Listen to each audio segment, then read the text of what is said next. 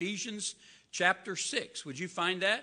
We are in this series and drawing eventually to a conclusion the wonderful works of amazing grace as we have been making our way through the book of Ephesians. Usually we don't take this long to get through a six chapter book, um, but this book is a wonderful book. I think it's one of the mountain peak books, not lessening any of the rest of the epistles that Paul wrote. But I think the book of Ephesians is one of the mountain peaks of his works, especially for the Christian who wants to understand what happened to them when they got saved. Paul takes three chapters to describe our salvation, and boy, he goes deep. He right away, in fact, in, in the opening verses of chapter number one, he delves into the depths of our salvation in God before the foundation of the world, laying out the plan of salvation and how man, who he hadn't even created yet, would one day be redeemed. And for the next three chapters, uh, Paul tells us all about this wonderful salvation. And then he turns a corner at chapter 4 and begins to discuss because we're saved, how should we live? And he tells us all about practical Christianity in chapter 4, 5, and 6. And we have, for the last few weeks, been in the last major topic of the book.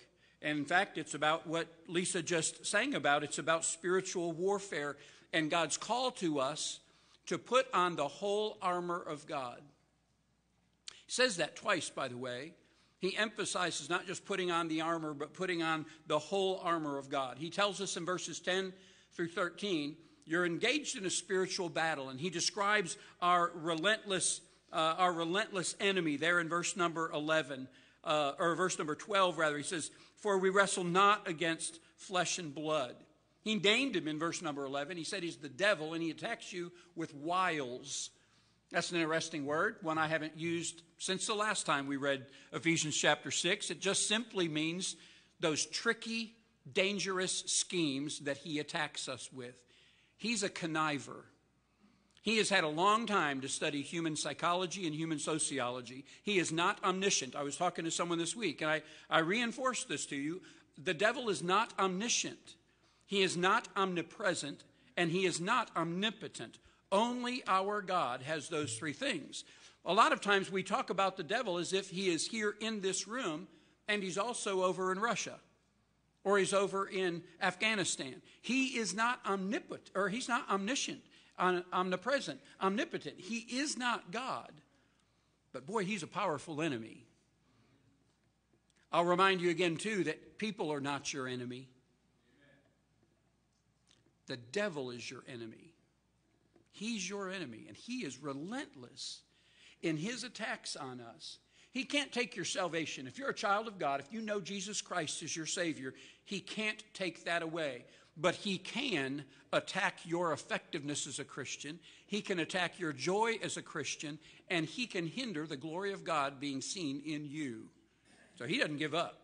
He just comes after us and he keeps coming after us. So, in these verses, in this spiritual battle, God calls on us to stand.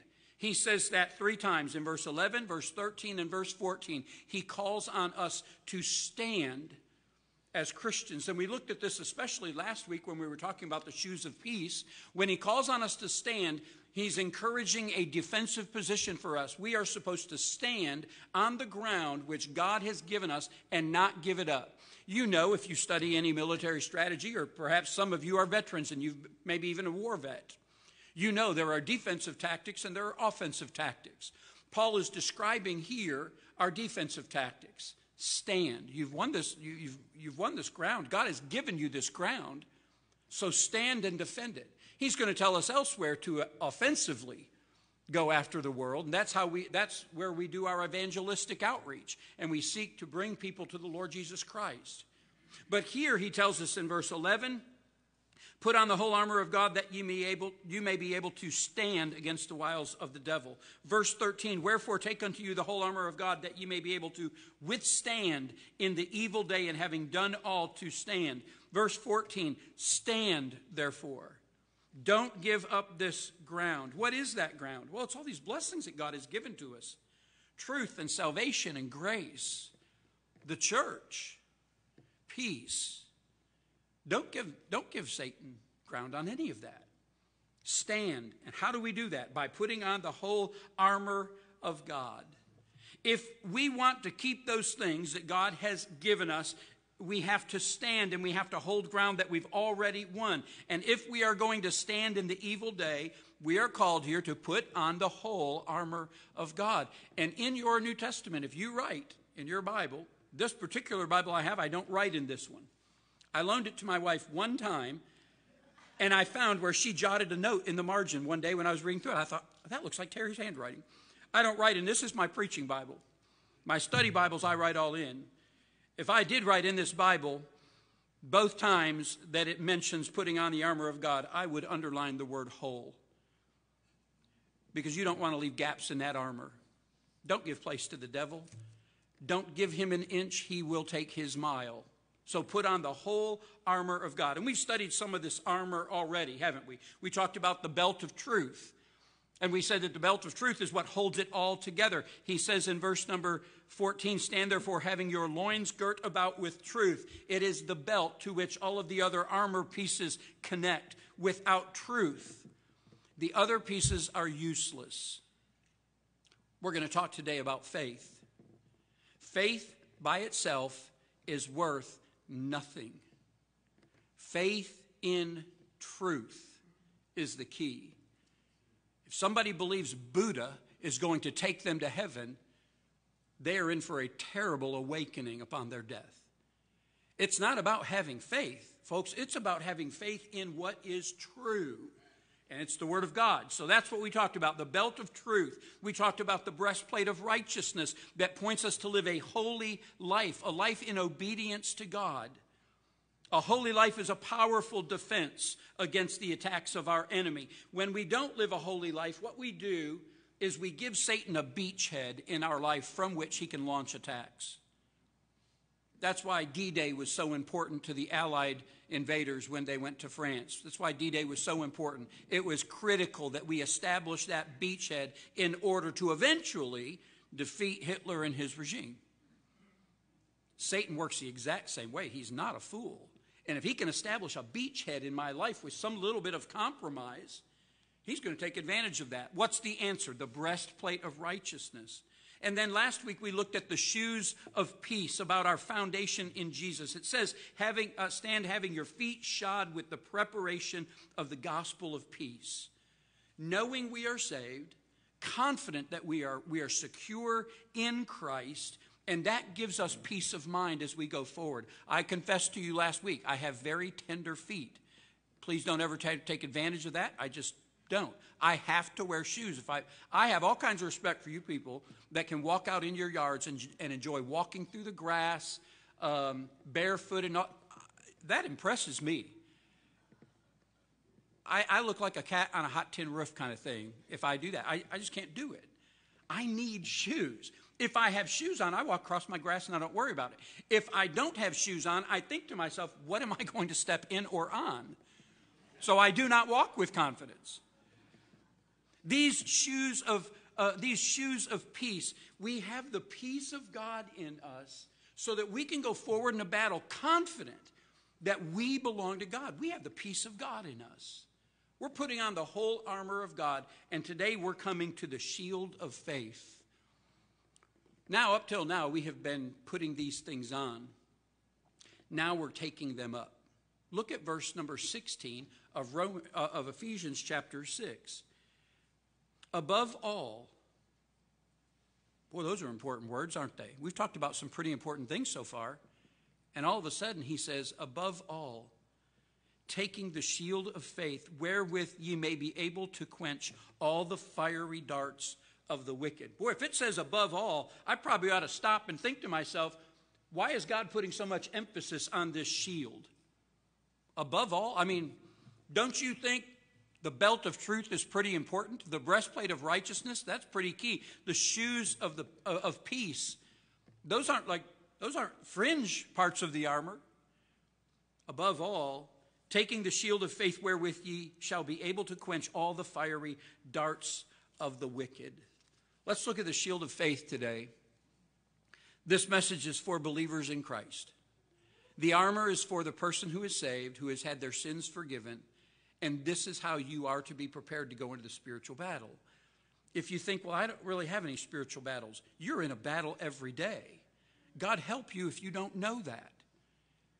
I think the most, I, have said it before, I think the most vulnerable soldier is the one that he does not know. He's already on the battlefield. And Christian, you are on the battlefield.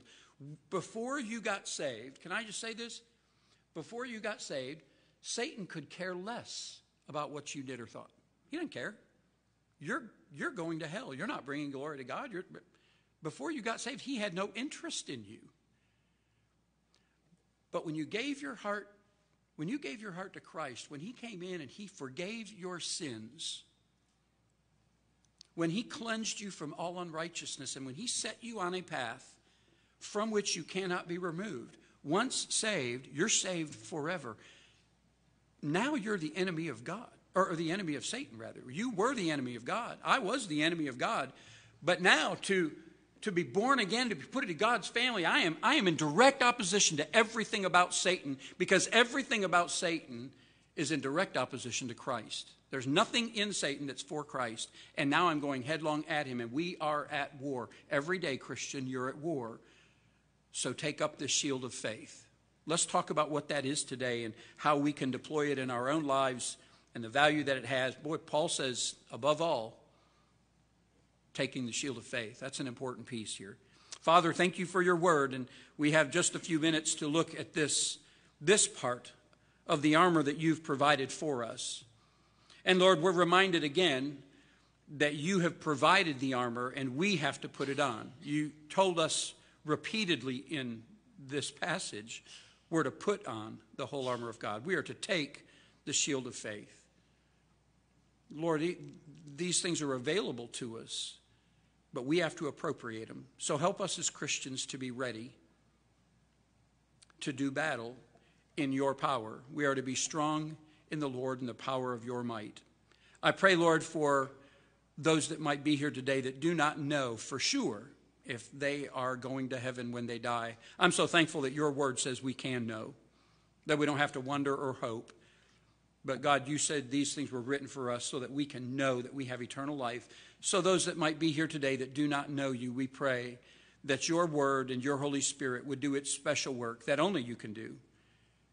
Convict of sin and convince them of their need for a Savior. Whether they're sitting in this room or they're back with our kids in the children's ministry, um, Lord, your word is powerful and it's quick, and we pray that it would do its work in each of us today. We pray all this in your name. Amen. Let's look at this shield, can we? First of all, how the shield is designed. How it's designed. Shields were vital to the to the shoulder the soldier that was in ancient days. Today we're into body armor, and our soldiers and uh, our our warriors all wear body armor. But the shield was the armor back in the day. It was the main piece of their armor, and they had two common types of shields back. Especially they're they're delineated in the in the Old Testament. Do you remember reading back in like in Saul and David's day, and then uh, also Proverbs contains a lot of the imagery. They would talk about two different types of shields. One, one's called a target, and one's called a buckler. Remember that? The target was simply a round disc shaped shield that was strapped to a soldier's arm, and it was really for hand to hand combat. And you've seen those in, the, in, in various movies on TV and something. It's just this little, uh, it's a little very uh, portable shield, lightweight, but it was effective. And then there's the buckler. Well, this word that we're told here is not the word for target or small shield, it's the word for buckler. And the, the word is actually the same word that the Romans would use to describe a door. It was the word thureos. And so this thureos shield was a large door shaped shield behind which the Roman soldier could pretty effectively hide his whole body. He could put that thing on the ground and kneel down, and he was covered. It was, an, it was a, an effective piece of their armor and much heavier than the, uh, than the small target. It could be metal, it could be wood. Uh, sometimes, if it was wood, it would be wrapped in, it would be wrapped in layers of leather. But the Roman shield was metal. Uh, and it was very good at deflecting spears and javelins and arrows and things like that. And if a, uh, if a soldier was going to shoot a, uh, an arrow at him, well, that, that shield deflected it. Sometimes they would shoot flaming arrows. The Bible says that that flaming arrow against the shield of faith, it was, in, it was ineffective. So they had this, they had these shields, and that front row of soldiers, as they advanced, they'd put those shields out front. That was the vanguard, and they'd hold that thing up. But then you had those soldiers behind them, also carrying the behind the front row, they're carrying the same shields. And so the soldiers in the vanguard would have their, their shields out in front of them, but in the successive rows behind that, the Roman the, the Romans had a wonderful strategy for all of that they would put their shields on top of that whole group of soldiers as they went. You've seen that formation before. The Romans, I don't know what their word for it was, but they called it the turtle when it was a small one, when it was a small formation of soldiers. It just looked like a turtle making its way across the ground. But did you know at times that the Romans would make that formation a mile wide? Can you imagine how formidable an opponent that would appear to be? A mile wide row after row after row, looking impenetrable because all you could see were these shields. So it didn't matter if somebody was coming at the front row with swords or they were shooting arrows and javelins over the top, all they were going to hit was those Roman shields. It was a formidable defense. They used that shield just as effectively as they used their sword or their spear. So, whether they were being attacked in the front or from the top, you can see why the shield was one of the most important things for a soldier to have. Now, the interesting thing was this you could only put one soldier behind that shield, it was a personal shield. There was only one person fitting behind it. That's a pretty good object lesson, isn't it? Your dad's faith doesn't help you get into heaven. You have to have your faith. That's how the shield was designed. It was designed to be a defensive weapon and it was going to protect them. How the shield is described. In fact, I should say this how our shield is described, because believers too need a shield, not of wood, not of iron, not of leather. The Bible says that we need a shield of faith, and we exercise faith every time we go out of the house. You say, well, well, he's a person of faith or she's a person of faith.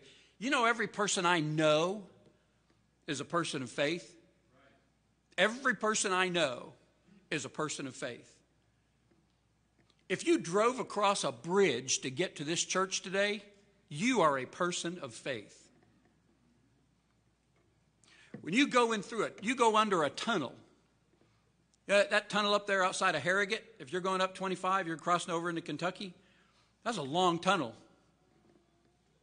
You from the time you enter that tunnel, you have placed your faith in the engineers that said that thing's not going to fall on your head. There's a tunnel outside of, uh, there's a tunnel over there in Norfolk, Virginia. You ever been through that one? That's a fun one. There's a tunnel over there in Norfolk that goes under the water, it goes under the bay. Uh, when I was a kid, I lived outside of Detroit, Michigan. We had the Windsor Tunnel, and you could go under the tunnel and go into Canada.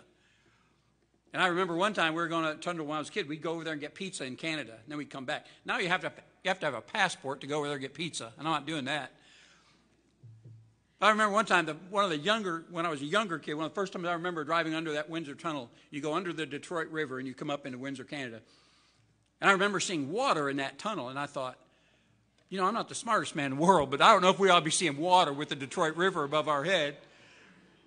But every time you go over a bridge or under a tunnel, you're exercising faith. We do that all the time. We get on planes, we get in cars. Even if you're the driver of the car, you are demonstrating faith. The Bible here talks about us taking up this shield of faith. Paul is not talking about faith in your everyday living, like driving over a bridge or under a tunnel. In fact, can I go so far as to say this? It's important that you note this. Paul doesn't say here, take up the shield of the faith. It doesn't say that. It says, take up the shield of faith. He's talking here simply about our faith in God. He's referring to our faith in God. He's not talking about the body of truth that sets us apart as Christians or the body of doctrines that we hold to as Baptists. He's not talking about the faith. He just said, take up the shield of faith. When we talk about the faith, that body of doctrine, that's covered in the belt of truth. Now he's talking about our faith in God, the belief in Jesus Christ that brings us salvation. The faith that leads to God's blessing and provision in this journey. Faith that saves us, or faith that sanctifies us, or faith that supplies us. Faith that calms us down. Aren't you thankful for faith when you're going through heavy trials? Aren't you thankful for the confidence that you can have in God? That's the faith he's talking about here, taking up the shield of faith. Faith is a necessary, non negotiable part of the Christian armor. You and I have to live by faith. The Bible says we can't be saved apart from it. Remember our, our look in Ephesians chapter 2, verses 8 and 9. Paul says, For by grace are ye saved through faith, that not of yourselves, it is gift of God, not of works, lest any man should boast. We are saved through faith and we can't get around it. And then as we live our Christian's life, our Christian life, we're supposed to build that life on faith. Think of think of this little phrase by faith. I little word searched that on my Bible program. There were more illustrations than I could share with you today, but can I just give you a sampling of once you're once we are saved, how we are supposed to live our lives? The Bible says first in Romans 5 1 that we are justified by faith. In the very next verse, it says, Now we have access to God by faith. 2 Corinthians chapter 5 and verse number 7, we are to walk by faith. Galatians chapter 5 and verse 5, we wait in hope by faith. Hebrews chapter 10 verse 38, we are to live by faith. Think of that Hebrews chapter 11. You remember Hebrews 11, the hall of faith? You remember by faith Abel did this. By faith Noah did that. By faith by faith Abraham did this. By faith all of these guys did this. All of these women did this. At the end of the chapter says by faith they were delivered from lions. By faith they were sawn asunder. They went to their death still holding to their faith in God. Everything about the Christian life is to be faith, so much so that Hebrews 11:6 says this. And Christian, this ought to challenge you. It challenges me. It says if you don't live by faith, you can't please God. For without faith, scripture says, it is impossible to please him. This shield of faith all of a sudden sounds important. No wonder Paul said, above all, taking the shield of faith. And, and I'll say this too your faith and my faith is only as reliable as the object in which we place it. Uh, it it's, it's important. We, we said this just a moment ago. It, it's so vital that you have faith in the right object. To, to place your faith in Allah is a misplaced faith. To place your faith in Mary or the saints is a misplaced faith.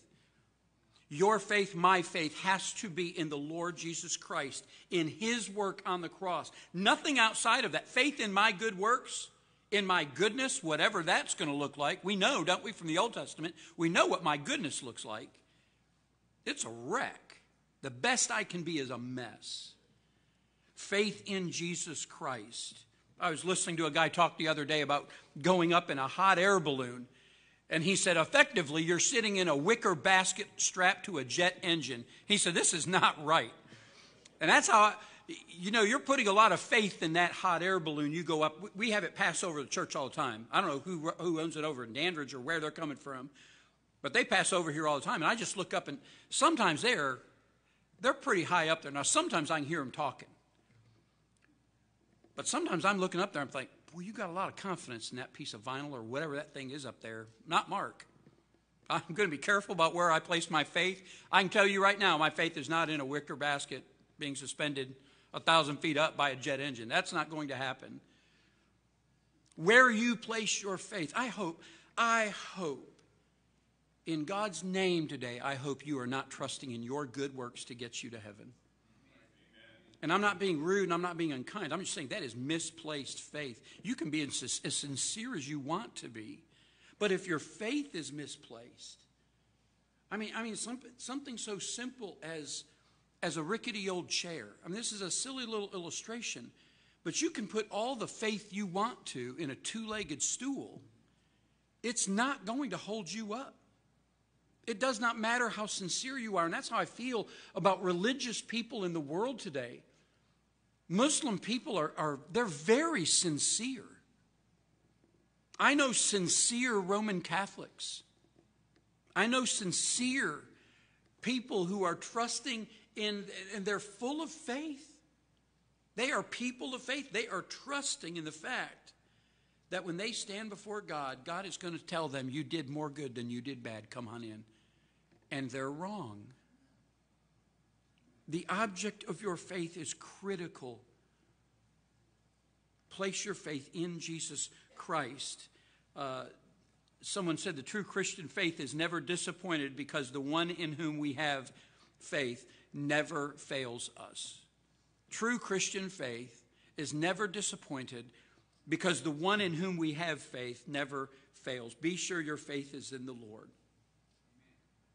The shield of faith is necessary for two reasons. Number one, it's your connection to the Lord. And number two, it protects us from the enemy who desires to slay us.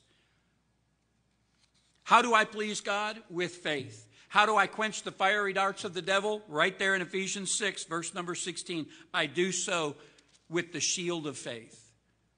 The shield of faith is necessary because it provides our connection to the Lord and it protects us from the enemy who's desiring to slay us. How the shield is designed is designed for your protection. How it is described, it is the shield of faith. And I'll say this again, church. If you're not walking in faith and living by faith, you can't please the Lord. I'm not being harsh, and that's not my idea. But without faith, Paul said, under the inspiration of the Holy Spirit, you can't please God. It's impossible. So, this shield of faith is critical. So, the last part and the biggest part of this message today is this then. If it's this important, if faith is necessary for me to please God, and I can't just, I can't live by sight, I have to live by faith. The third thing is this how do we deploy this shield then? How the shield is deployed. The Bible says the shield of faith enables us to quench all the fiery darts of the wicked. You've seen those flaming arrows in the movies. You know, we, we've seen them um, in the cowboy and Indian movies of the old days. And, and then if you watch any of the ancient, uh, you know, about ancient world history, you'll see these flaming arrows. They'd take an arrow and they'd wrap it in a piece of cloth, they'd dip it in pitch, they'd light that thing on fire, and there it goes. And it's an impressive sight, isn't it? When two or three hundred archers at one time loose a bunch of flaming arrows. I mean, you can see that that's a that's a terrible attack. That thing was designed when that arrow hit its target. It wasn't so much the puncture as it was the splatter of that burning pitch. Because once it hit, it would just it would just scatter and, and it'd start in on anything that was combustible. Now, if it happened to hit if it happened to hit a soft tissue body, well, that was just that was insult to injury because then you got the puncture wound to deal with. But it didn't matter, that thing would still just splatter.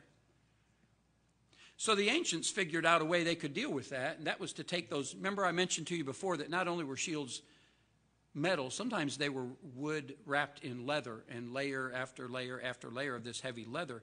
They'd take those shields the night before battle, they'd just soak them in water. And they would let that leather absorb all that, they'd let that leather absorb all that water it could.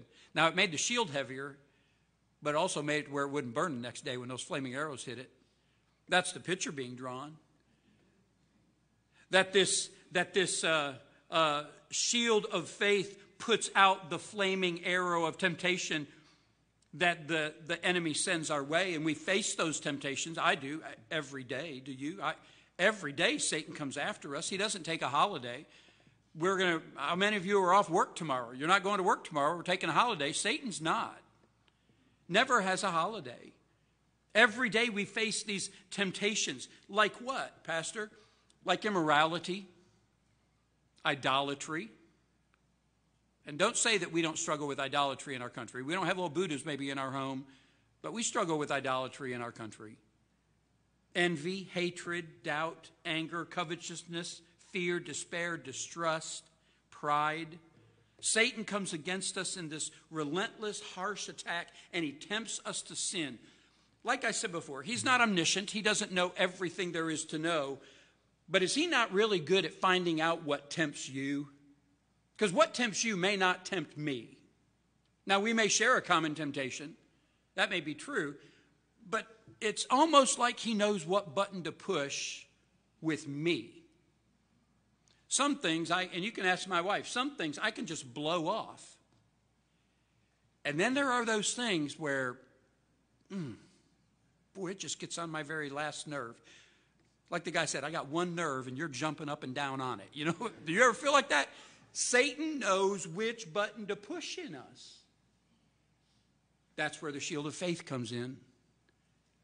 And, and I like the way, don't you like, uh, the Holy Spirit doesn't waste words, does he? He says, wherewith ye shall be able to quench. What's the next word in your Bible?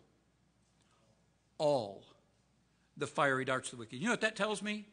That tells me that my faith in Christ is so well placed that it does not matter the temptation or the attack that Satan sends my way.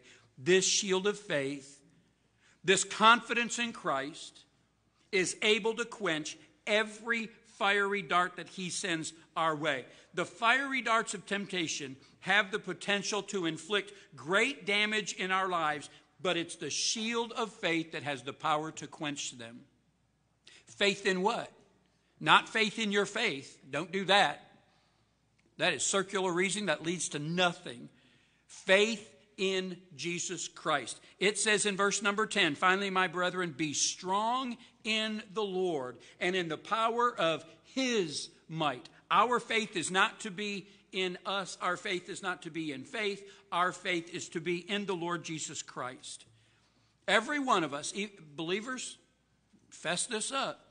Every one of us have aspects of our old nature in us that's easy to ignite, and all Satan has to do is put a little flame in there. And if it gets through that chink, if it gets through that shield of faith, that's going to light up. As the arrows fly toward us and the temptations come our way, and we drop that shield of faith a little bit, we start putting more confidence in our abilities or our strength. Sometimes we start to rationalize our uh, cooperation. Is that a good way to put it? We rationalize our cooperation with these temptations. And we'll say stuff. I've had people sit in my office before. I've sat with them in a restaurant looking over a table, confronting someone about their sin. I've had people say, if God didn't want me to have this, then why did He bring it into me? Why did He bring this into my life? If God didn't want me to pursue this relationship, then why did He bring her or him into my life? As if, as if Satan had nothing to do with that. my neighbor has, my neighbor did this or has this. He seems to be happy. He seems to be doing okay. You know what we're doing, right? We're justifying our sin. We have to be so careful about this. Don't, well, if God didn't want me to have this, then He'd close the door. Well, I would love to be able to say that every time I do something dumb or sinful, it's because God didn't close the door. But the fact is, I can just make dumb and sinful choices. And since I'm not a robot, God will let me make that choice. So he'll put verses in the Bible that says something like this There is a way that seemeth right unto a man, but the ends thereof are the, the end thereof are the ways of death.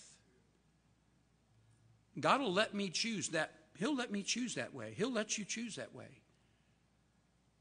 It's so important that we keep this shield of faith up. We justify our sin, and in doing so, we're simply saying, I want to do my will instead of God's will.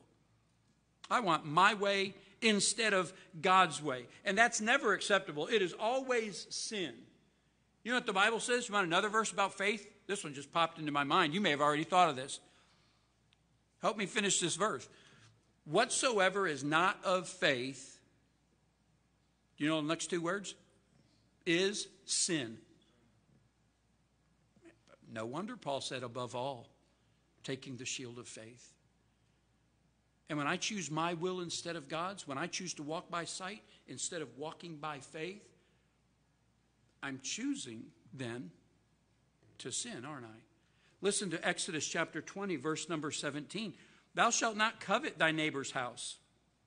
Thou shalt not covet thy neighbor's wife, nor his manservant, nor his maidservant, nor his ox, nor his ass, nor anything that is thy neighbor's. Well, my neighbor has it. My neighbor does it. This is the way they do things. 1 Thessalonians 4, verses 3 through 7. This, this popped into my mind. In fact, this was the verse I shared when a gentleman told me if she's not God's will for my life, then why did God bring her into my path? The first thing that came to my mind was 1 Thessalonians chapter 4 verses 3 through 7. For this is the will of God, even your sanctification, that ye should abstain from fornication. Now he was married and she was married. So right now I can tell you God had nothing to do with this. And they weren't married to each other. God says abstain from this. Walk away from it, don't touch it. Abstain from fornication, that every one of you should know how to possess his vessel in sanctification and in honor, not in the lust of concupiscence, like the Gentiles which know not God. That no man go beyond and defraud his brother in any manner, because the Lord is the avenger of all such, as we also have forewarned you and testified. For God hath not called us unto uncleanness, but unto holiness. Walk by faith.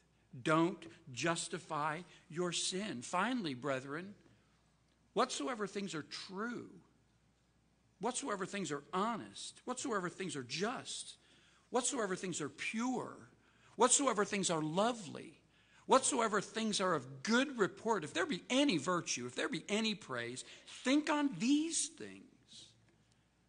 Don't justify your sins. Let's not do that. We believe God's word. We have confidence in what he says. This is the way to go. The shield comes up, the arrows are quenched, and God gives us victory. Not our great strength, not our spiritual uh, amazing power. No, it is God. We are strong in the Lord and the power of his might. You need to remember and remind yourself this daily Satan wants to destroy you.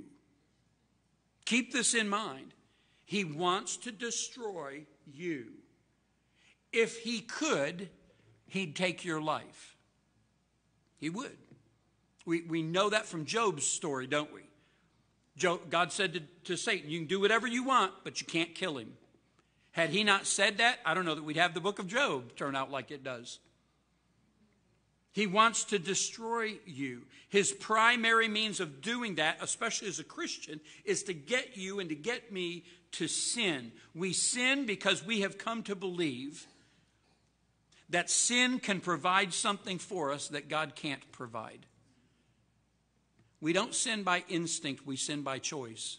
We, we choose to sin, especially as a Christian. When you have the Holy Spirit living in you, if you are tempted and you sin, don't, you, don't say the devil made me do it. He didn't. Your flesh gave in. I choose to sin. You choose to sin. Sin is always rooted in the doubt of God's good character. That's exactly how Satan went. He, that's exactly how he went at it with Eve. He convinced her that God was holding back, that God was ripping her off, that God was withholding something from her that would make her happy. And we sin because we've come to believe that sin will provide something for us that God can't or won't. That's Genesis chapter number three. That idea is found in verse number uh, 16 of 1 John chapter 2, too. Genesis 3, you see how Satan strategized and attacked Eve. In 1 John 2 16, it says, For all that is in the world, the lust of the flesh, the lust of the eyes, the pride of life, it is not of the Father, but it's of the world. The shield of faith is vital to you to withstand these attacks. Here's this if we would stand for the Lord against Satan's attacks, then we must do so holding up the shield of faith, believing that all God has said is true. Satan's a liar, the Bible says, and the father of it. God gives us the victory through, the, uh, through faith in him because what he says is true. That shield of faith, you're exercising this. God said it, and it's true, and that's where my confidence is going. And, and that is that is in the Word of God. I, I mean, that truth is in the Word of God. Our confidence has to be there. Proverbs 30, verses 5 and 6. Every word of God is pure. This is interesting, isn't it? We're talking about the shield of faith. Every word of God is pure. He is a shield unto them that put their trust in him. Psalm 18, verse 30. As for God, his way is perfect. The word of the Lord is tried. He is a buckler to all those that trust in him. Remember that word buckler? That's the big tall shield, like the one we're talking about. He's a shield a buckler to all those that trust in him. 1 John chapter 5 and verse 4 For whatsoever is born of God overcometh the world. This is the victory that overcometh the world, even our faith. And the faith there is implied our faith in God. You take up the shield of faith and you say, God, I believe that you will give me victory over this temptation. There's no temptation going to take me, but such as is common to man, and you, uh, and you have provided a way to escape. God, I'm trusting in your word. That shield of faith comes up, that fiery dart is quenched. So, what is the shield of faith? The shield of faith is the trust that you have in God to give you the victory over temptation. That's the shield of faith. It's not talking about the doctrinal belief that we have, the faith, it's trust in God. It's about our faith in God, putting Him above all else, so that when the enemy launches those attacks and those fiery darts, like, the, like one of those big, those big massive attacks where all those darts, you ever feel like that? Yeah, I mentioned a minute ago those movie scenes where there's like 300 fiery arrows coming in. Do you ever feel like Satan has just unleashed his hounds after you? Shield of faith up because the Bible says it'll quench every one of them. It quenches all the fiery darts. It is just this simple. When we trust God, we can stand against the attacks of the enemy. The shield of faith is more than a piece of armor that's taken out for protection when we need it. The shield of faith is what makes your Christian life and my Christian life possible. It's to be an everyday thing. We are to walk by faith. We are to live by faith. Romans chapter 1 verse 17 says for therein is the righteousness of God revealed from faith to faith as it is written the just shall live by faith. That that just draws the picture that faith is the lifeblood of the believer. I like don't you like that little that little phrase faith to faith? We go from faith to faith. This exercise of faith to the next exercise of faith to the next exercise of faith. We are to walk and live by faith. That faith will take you home. You know, it's interesting. You know, what's interesting about the Roman, the Romans anyway. I don't know how the others that this is true of, but it's true of the Romans. When a soldier was killed in battle, do you know how they commonly transported that soldier home? they'd put him on his shield and carry him home. Off the battlefield, back to his home on his shield. That is a wonderful picture that says your faith in God, it will get you home. Church, take up the shield of faith it's not your ability. It's not my ability. It's not, it's not our understanding of the scripture. It is all about our confidence in God, our faith in Him, and He gives us the victory. Christian, let me ask you today how well are you living behind this shield of faith? Here's how you can know it. here's how you can know how well you're living behind the shield of faith because faith and fear are mutually exclusive. And if this world's condition and our country's economy, if the situation you or your family find themselves in, you're somehow walking in fear, you're not walking in faith. Uh, it's, there, there's a choice to be made. Are you walking by faith? Are you living by faith? Do you have hope in God by faith? You and I can't please God. Oh, doesn't matter how good a Christian you are, you can't please God without faith. Now, you might be here today, and this really doesn't mean a whole lot to you. What we're doing, what we're saying, doesn't mean a whole lot to you. I, I want to encourage you today to give serious consideration to this fact. If you do not belong to God's family, you do belong to Satan's family. You say, Well, Pastor, I don't believe it. I don't care.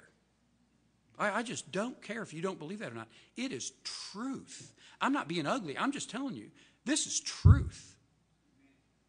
If your faith is not in God to get you to heaven, the Bible is adamant about this. Hell awaits for you after you die.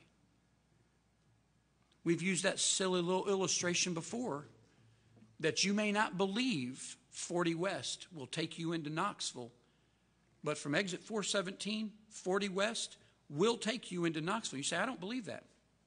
Do you see why I say I don't care?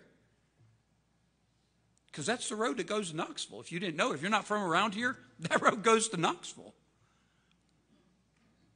And there is a broad way that leadeth to destruction. And every person that stays on that broad way is going to be destroyed. The great white throne judgment, the terrible thing about the great white throne judgment is this every person there is eternally condemned. You have no advocate. There's only a prosecutor at the great white throne judgment. There's no advocate. There's a prosecutor and a judge. And that's it. Every person is condemned there. I would encourage you to take up the shield of faith and place your faith in the Lord Jesus Christ and be saved. And then walk by faith and live by faith. Faith, your instruction is here. This is God's word for you today. Taking, above all, taking up the shield of faith that ye may be able to quench all the fiery darts of the, of the, of the devil. That's what you want. That's what I want. That's absolutely what we need. Would you stand today with your heads bowed? Father, I thank you for your word and I thank you for its clarity. And this shield is important to me. It's more important than sometimes I admit. And Lord, there are those times when I walk by sight or I allow fear to creep into my heart or mind. I don't take faith in you all that seriously, and I should. And Lord, maybe there's folks like that that are living their whole lives like that today. First, I would pray for any person in this room that does not know Jesus Christ as their Savior. And mm. above everything else, God, I pray that they would come to know you as the one who takes away all of our sin and all of its penalty forever. And then I pray for the Christian, Lord, who might be in here today who struggles living by faith. Worry and doubt and confusion rules their mind more often than not. They're concerned about um, the things that are happening in this world more than they are about their walk with you in faith and knowing God, confidently knowing that you have all things in control. You are working things to a glorious end, and we're, we're ready for that. We are waiting for it. But Lord, there may be Christians in here today who their faith needs help. So we would pray like the disciples did Lord, would you increase our faith and help us to walk more with you? And um, God, know your peace and your strength. We, we do want to fight this battle in your strength and not ours, so show us how to do that. I pray this in your name, Lord Jesus. Amen. Would you hold your heads bowed and your eyes closed for just a moment? I want you to pray in your heart God, what is this message to me today? What is it to do in my heart? First, God may be calling you to be saved if you're not saved. Come and let someone show you from the Bible how you can know how to be saved today. Would you do that?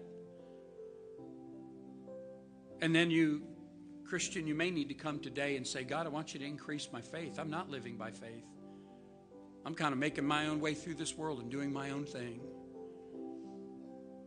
You need to join this church today. Come. Whatever God might be doing in your heart today, come and let Him have His way in your life. Would you do that?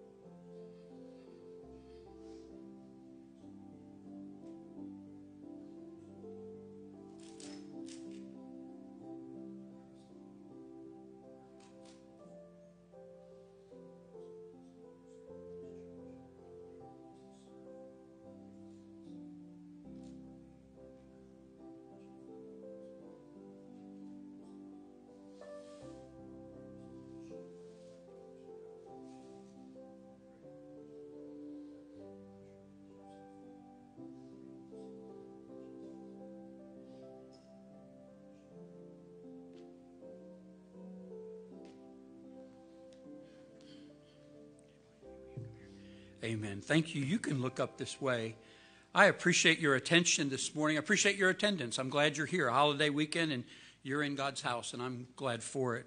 We're so thankful to have Brenda Dockery come to join our church today. Um, she's coming by a transfer of letter from the Deep Springs Baptist Church over in New Market, and uh, I want you to be in prayer for Brenda. This is Jeff's mom, of course. Many of you know her. She's come for a long time. I've said this before. I appreciate people who take their time um, in determining if God is moving them from one church to another. That's a big deal.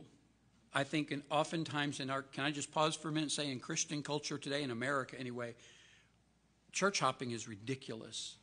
And I, I appreciate those who investigate God, are you moving me from one family to another? And Brenda's been coming for a long time months and months, 15 months and praying and seeking God's direction. Now, I think it's scriptural to be a member of a church. I, I do. I think the Bible teaches that. But I also believe that we, once you're in a church, boy, get there and serve. And I just prayed with Brenda, and I, I prayed for her to know where God would have her serve in this church. And I want you to join her in prayer with that. Um, and I'm so thankful God brought her our way. I believe this is a faithful woman of God. She loves the Lord, she loves His Word, and she's faithful. Um, and I, I appreciate uh, I appreciate her coming today and desiring membership here. All of those in favor of her membership at Faith Baptist Church, would you just raise your hand and say amen? Amen. amen. We'll wait for that letter from Deep Springs Baptist and we'll look forward to that. I would like you to come and greet Brenda this morning. If you don't know her, um, you need to come and introduce yourself to her church family and then get to know her. Find occasions uh, to get to know these folks that are joining our church and their members here. Look for opportunities for fellowship. Terry's going to stand with her down there. I told Brenda, I said, I'll have Terry stand down here so you're not by yourself. Um, but please come and meet her after we're dismissed in prayer and come by and give her the right hand of fellowship and uh, let her know that you'll be praying with her as she seeks where to serve the Lord at Faith Baptist Church. All right? Let's go to the Lord in prayer. We'll be dismissed. And then you come and, and greet Brenda if you would. And then, Lord willing, we'll see you back here tonight at 6.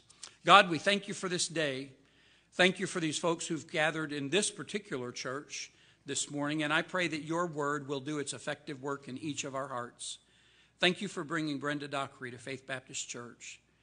Thank you, Lord, for her testimony of belief in Jesus Christ, her baptism, and her desire here to serve the Lord and worship you here. And I pray that you would help us to welcome her into this church body. And Lord, add to this church as you see fit. Uh, this is your church. And Jesus, we confess again that you are our head. And so help us to be the body that we should, edifying itself in love and every part performing uh, its function here. Bless our day. Give us a good service tonight as we go back into your word. We fellowship and worship together. In your name we pray. Amen. God bless you, church.